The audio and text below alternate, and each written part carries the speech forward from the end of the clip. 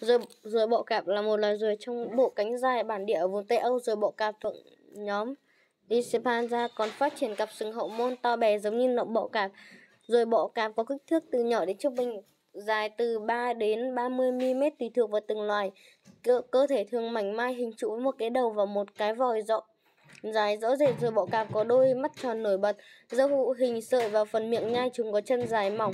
Nếu bạn có thể đoán các thành viên của bộ cánh dài, bọ cạp thực sự có đôi cánh dài so với cơ thể của chúng.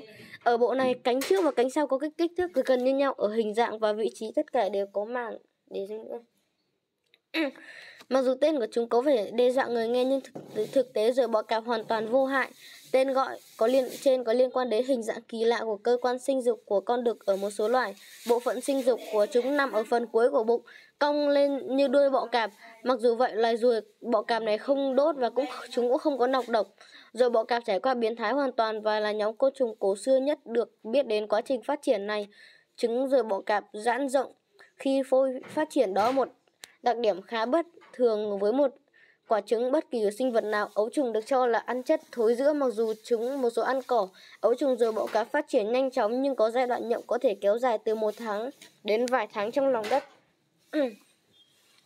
Rồi bọ cạp là một loài côn trùng, nhưng nó lại tiến hóa từ ngòi bọ cạp phần bụng dưới là ngòi của chúng không có ngạnh rồi bọ cạp phát triển cặp sừng giúp các con được bám chặt vào con cái khiến rồi bọ cạp không thể chống cự hoặc chạy thoát.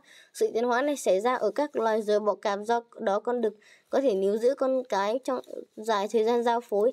Cặp sừng ở hậu môn của rồi bọ cạp là công cụ quan trọng để loài này giao phối với bạn và bọ cạp và rồi bọ cạp được kiểm soát bạn tình. Rồi bọ cạp thích thường thích ẩm ướt, môi trường sống ở rừng, những vùng khí hậu ôn đới hoặc cận nhiệt đới rồi bọ cạp trưởng thành là loài ăn tạp, ăn cả thực vật mục nát và là côn trùng đã chết hoặc đang chết.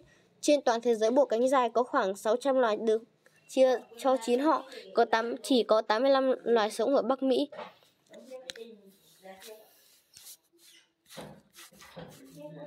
Hình ảnh thể hiện Hình ảnh thể đây hình ảnh thể hiện rồi bọ cạp có đời sống tình dục được đánh giá là bạo lực là bạo lực khi giao phối con được dùng sừng hậu môn kẹp chặt lấy bụng con cái kìm chặt bạn tình quan hệ từ 70 đến 140 phút, dù sau đó con cái không muốn tiếp tục.